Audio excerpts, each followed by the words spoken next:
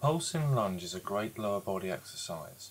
For best results, work for the middle to lower phase of the exercise. Aim to take your thigh parallel to the floor, then raise a few inches upwards.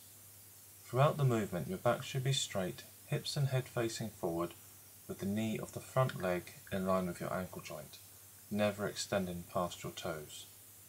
Take care when finishing your pulsing movements for the quads, as the contraction of your lower body muscles can reduce the blood flow to your brain and cause you to feel dizzy.